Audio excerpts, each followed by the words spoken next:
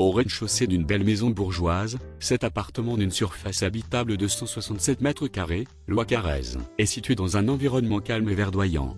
Très lumineux et jouissant d'une hauteur, sous plafond de 4 mètres, cet appartement dispose de vastes volumes donnant sur jardin privatif de 850 mètres carrés.